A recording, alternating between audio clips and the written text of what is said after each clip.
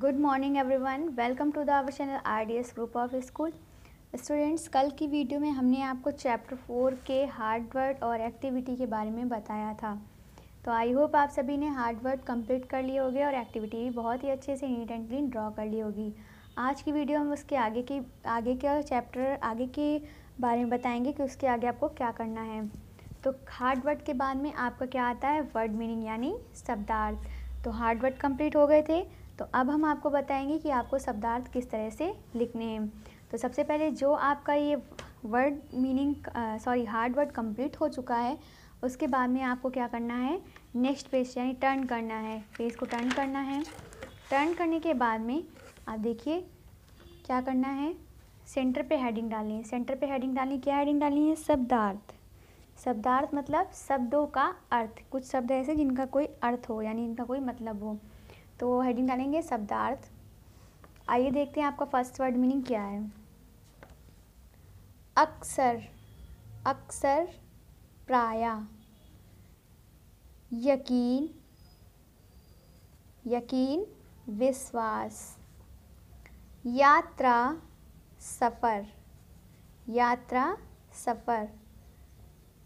चालक, वाहन चलाने वाला।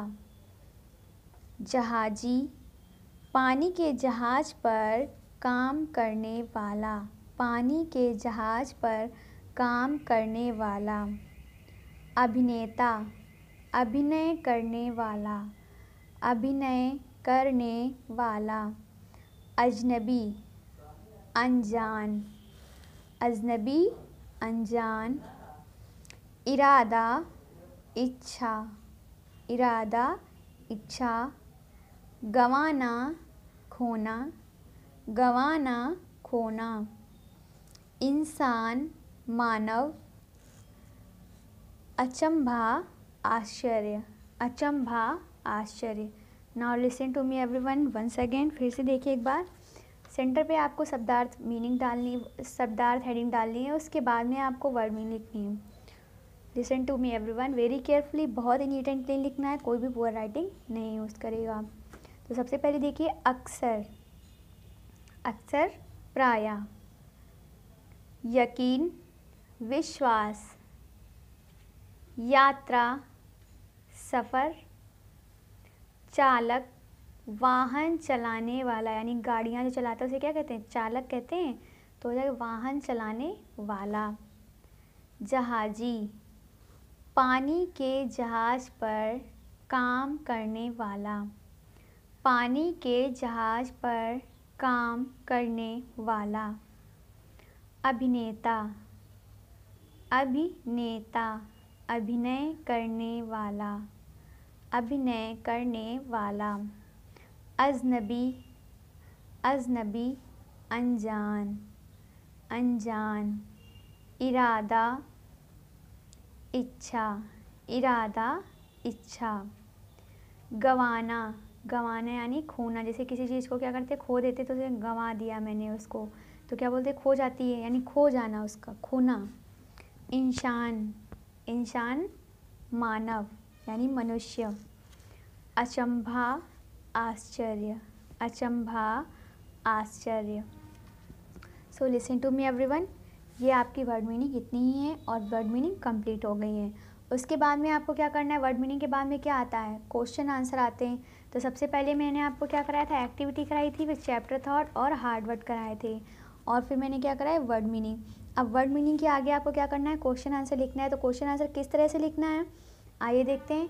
वर्ड मीनिंग के आगे आपको क्या करना है? अगर आपका पेज है, यानी पेज एक्स्ट्रा है तो आप क्या करेंगे? सेंटर पे हेडिंग डालेंगे, प्रश्न उत्तर। सेंटर पे हेडिंग डालेंगे, क्या हेडिंग डालेंगे? प्रश्न उत्तर। और अब फिर उसके बाद में क्या करेंगे? आप प्रश्न लिखेंगे। क्या करेंगे? प्रश्न लिखेंगे। तो आपका प्रश्न नंबर वन है शंटिंग क्या होता है? शंटिंग क्या होता है?